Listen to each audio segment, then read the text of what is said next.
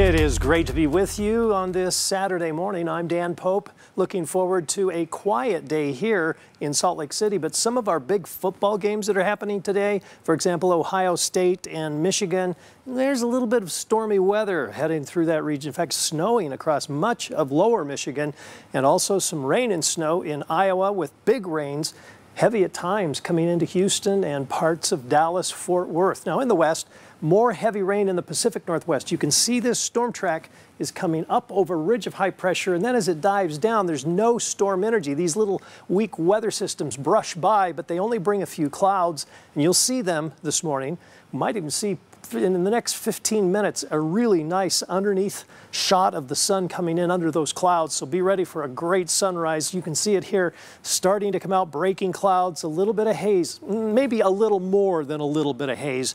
Let's just call it hazy today. And you can see from the Intermountain camera the haze across the valley. Another view, this is the one I'm telling you. You've got clearing skies here on this side of the Wasatch Mountains. When the sun starts to come up for a few minutes right here, just before 8 o'clock, we're going to see some nice, beautiful undercloud. Uh, sunrise could be really bright orange, yellow, red, those kinds of colors. 28 in Salt Lake City, 31 in Ogden, 22 in Provo. Kind of cold there in Provo this morning. How about our temperatures in Roosevelt and uh, also Price into the 20s? Mo Nephi is 19 this morning. Kemmerer is 27. Uh, 18 degrees at Bryce Canyon. That's not unusual. But a bit on the chilly side, Moab 18. Here's the ridge of high pressure. It is right over the top of San Francisco. Let's go into Tuesday.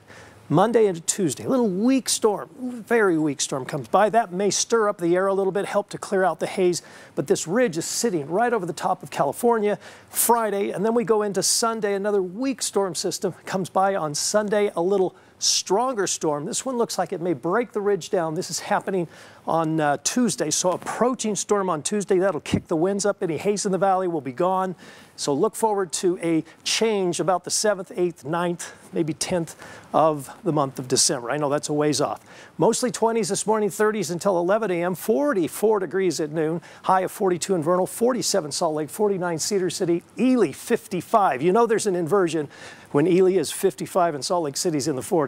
There's your seven day forecast for St. George. It's seven days, okay, six days in the 60s, one day today, 59. Salt Lake City, Ogden, Provo, along the Wasatch Front, upper 40s, and haze today, tomorrow, Sunday, Monday. A little bit of a break in the haze, but still highs in the 40s. Average high this time of the year, though, John, is 44.